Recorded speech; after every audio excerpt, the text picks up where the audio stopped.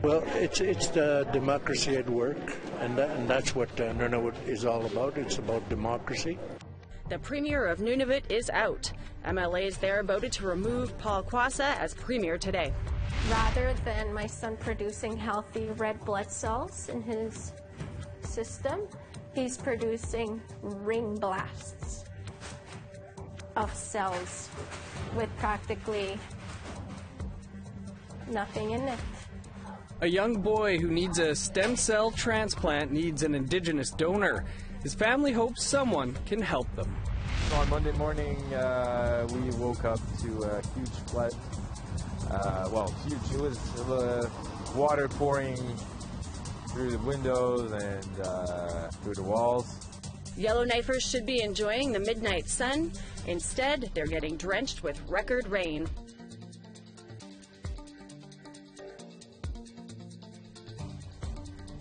Good evening. Welcome to APTN National News. I'm Dennis Ward. And I'm Melissa Ridgen.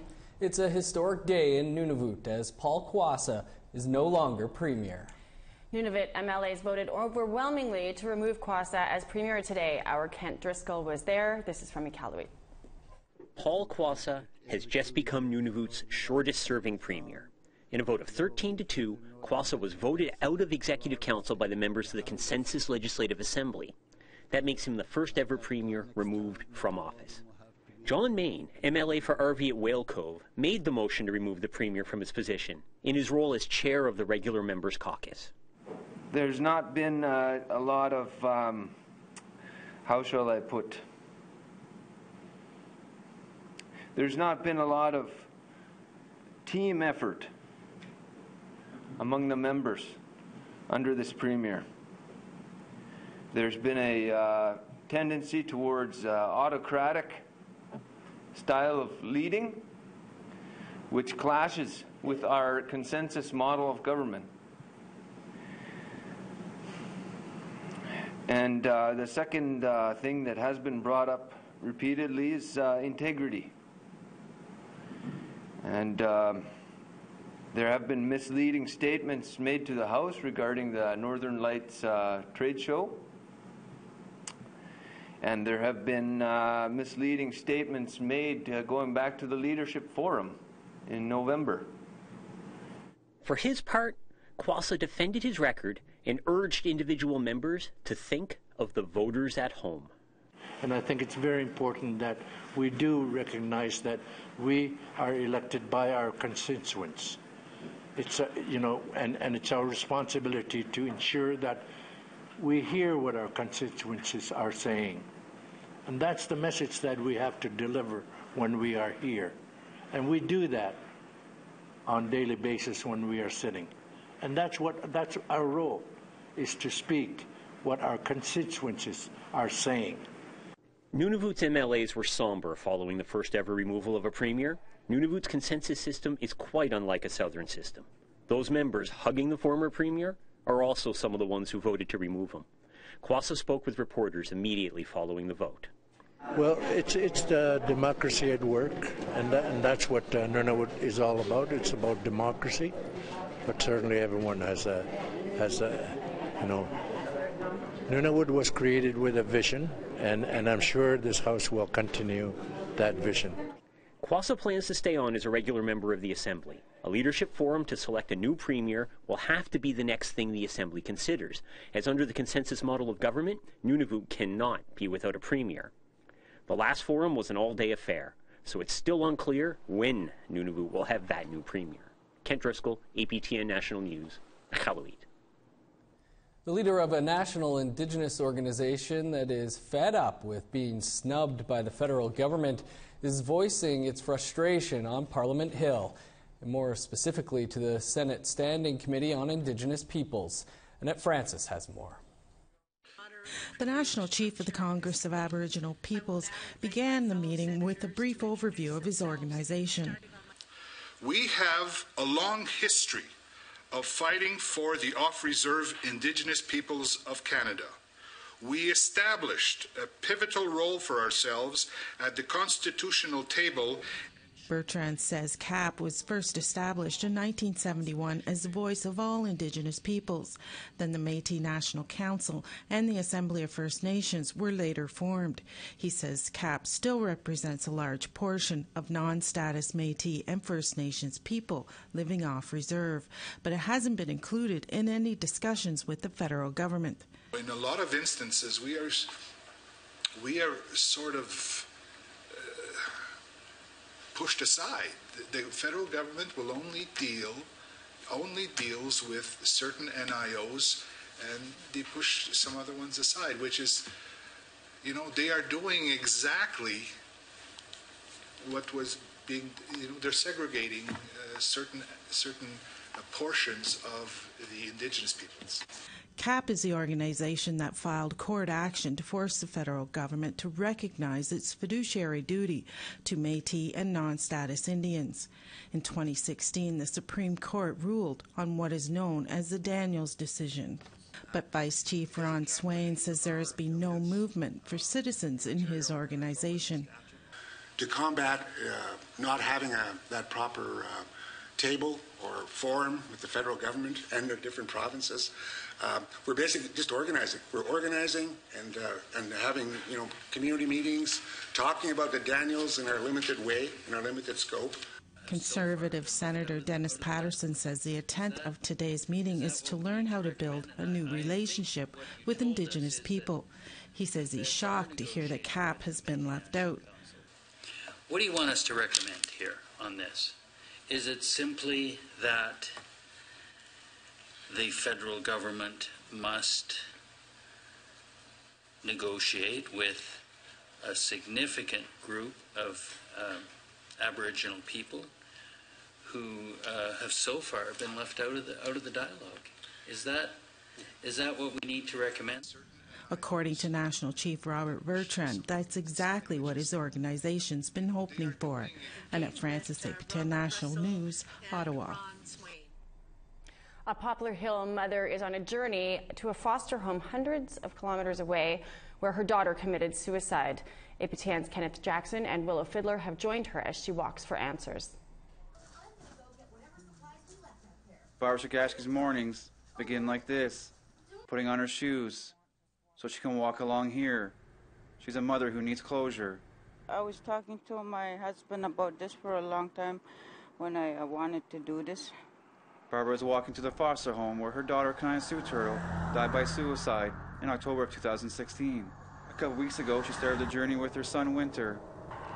Got up and I said I decided I wanted to walk and walk this to Sioux Lookout and go do a closer. Closer. The closure. Yeah. Yeah. She began her walk by flying from Poplar Hill First Nation to Red Lake and is now just past Dryden. It's about a 320 kilometer walk in total. And when she gets to Sioux Lookout, she's going to go inside the home for the first time. What's it going to be like when you get to Sioux Lookout and you have to go in the home? No, I'm just kind of nervous what I'm going to say, say in that room. The words haven't come to her yet, but she wants to say goodbye. It's, it's kind of hard to let go of something. You really cared about and loved. Kanina had been in the child welfare system for several years. That is until she filmed her death inside a foster home owned and operated by Tikinagan Child and Family Services. An APTN investigation found she was clearly suicidal, yet was left alone for 45 minutes the day she died. Tikinagan has never told Barbara how or why she was left alone that long, but you may have noticed something falling behind Barbara on her walk. I think they want to help you, and there's a van behind us that they're paying for to follow along but yet they won't tell you how your daughter was left alone for 45 minutes that day. Yeah, that's what I mean. I don't know what's what's what's the problem with these Tikinagan. They never. They're just they're just hiding something. I think that's what I think. Me too. That's what my family thinks too. APTN has asked Tikinagan too, but a spokesperson says it can't say it out of respect of the family's privacy. They also warned APTN from filming the home where Kanina died, calling it a safe haven for kids. But it was supposed to be Kanina's safe haven, too. A day before she died, Kanina was inside this Tim Hortons. She posted a video to her Facebook.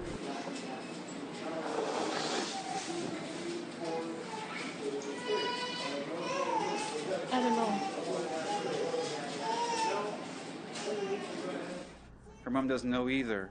She walks with the same iPod her daughter used to film her death. The video is still on the device. She also wears the butterfly necklace Kanina wore the day she died. And she keeps walking for Kanina and for closure. You also want to show Tikinagan something too, right? Yeah, I What do you wanna wanted. I wanted to show them how I how much I loved loved my daughter so much. So she and her son keep going to Sioux Lookout, where she hopes to find a way she can keep going, not only for herself, but for her four other kids waiting for her back home. Kenneth Jackson, APTN National News, Dryden, Ontario. And we'd like to hear what you have to say about this or any other story. Here's how to contact us. Send an email to news at aptn.ca, like our APTN National News Facebook page.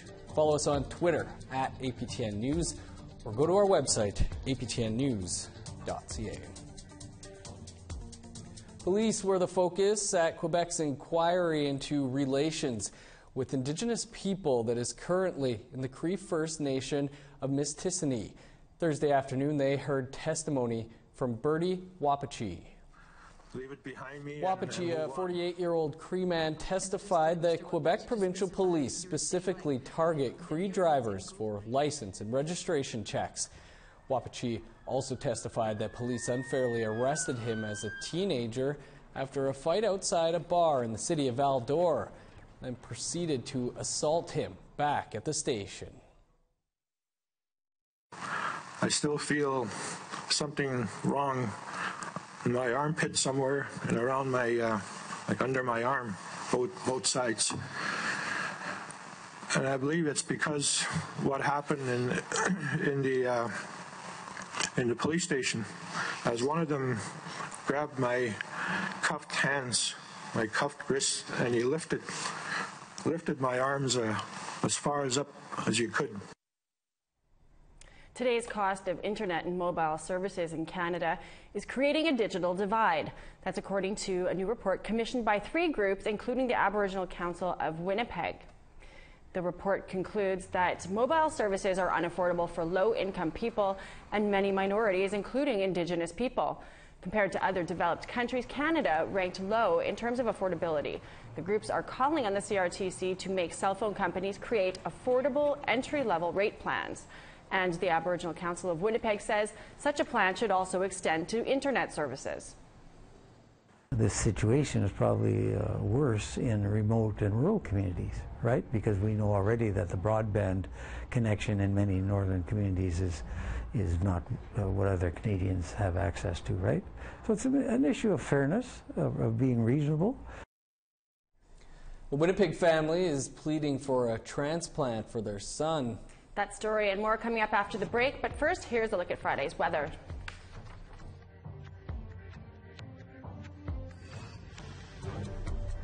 On the East Coast, 5 in St. John's, 18s and sunshine in Charlottetown and Halifax. Kuujjuaq, sunny and 6, 9 in Happy Valley, Goose Bay. Lots of sun through Quebec, Saguenay and Quebec City looking at 24 degrees. Sunny in southern Ontario, 26 is for Windsor and Sarnia, 22 up in North Bay.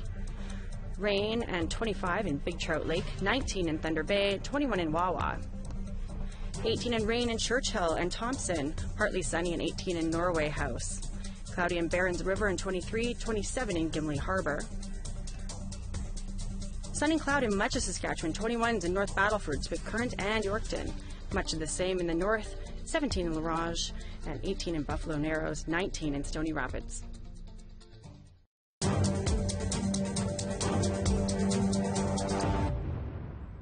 A Winnipeg family is in need of a life saving transplant for their young son.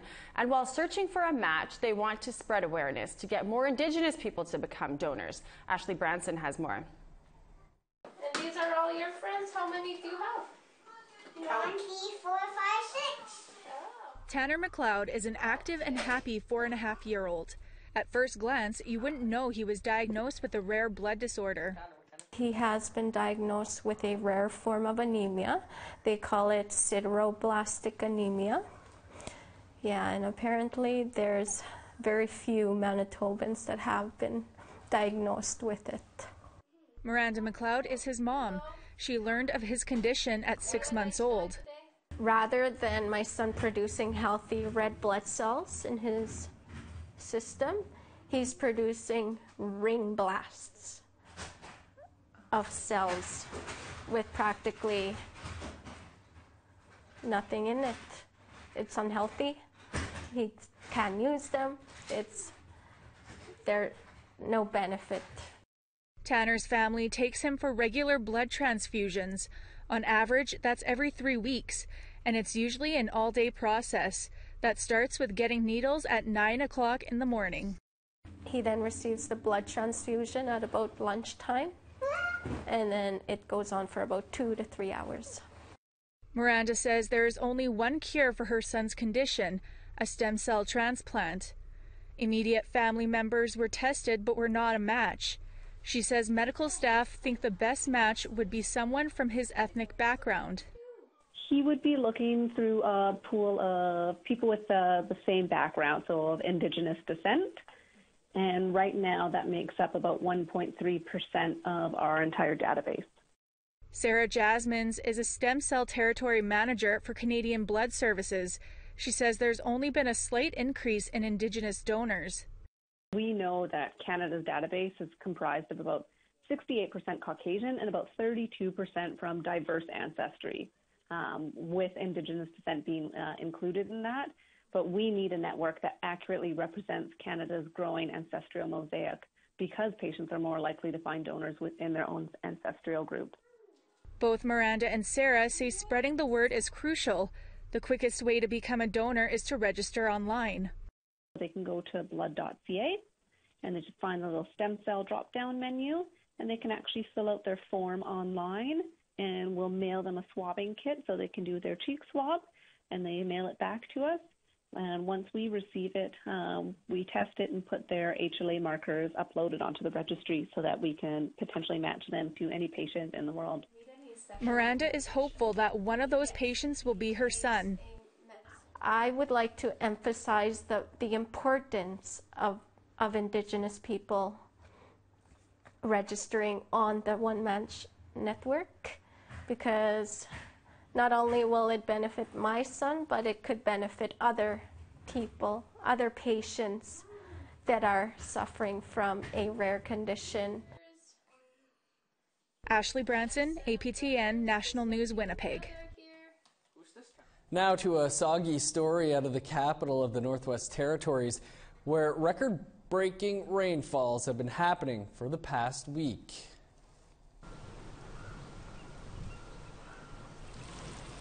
It's weather only ducks could love. Today is the fifth day in a row it has rained in Yellowknife. About half a month's worth of rain fell on Monday alone, breaking records. And it's not over yet. More rain is expected in the forecast. The downpours have created a muddy mess of one main street. It's currently under construction and flooded out basements. So on Monday morning, uh, we woke up to a huge flood. Uh, well, huge. It was uh, water pouring through the windows and uh, through the walls. My biggest fear is uh, for works to take forever. Um, and uh, maybe if they, I'm, I'm afraid they would find some asbestos, but you know that's that's a common issue I think uh, in the older buildings. One of our recent weather forecasts, we didn't know what the temperature was in Yellowknife. I guess Well, we now know it uh, was We now know it's wet. the capital of wet.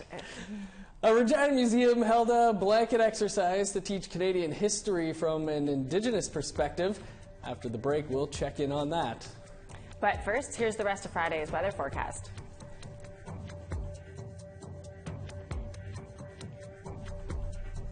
Northern Alberta, a mix of sun and cloud, 18 in high level Peace River and Grande Prairie. Rainy in the south, just 15 in Calgary and Lethbridge, 20 in Medicine Hat. Mix of sun and cloud on the west coast, 18 in Victoria, 14 in Port Hardy, 19 in Bella Coola. Same sort of mix for the interior of northern BC, 17s in Fort St. John and Prince George. The Yukon, 10 up in Old Crow, 20 down in Watson Lake, 21 in Sunshine and Norman Wells, 16 in Yellowknife and Wati, 10 and rain in Tuk, 7 in Muvik and Paulatuk. Baker's Lake will be 12, but just 4 in Whale Cove and Arviat. Lots of sun further north, 5 in Clyde River, 3 in Igloolik and Iqaluit.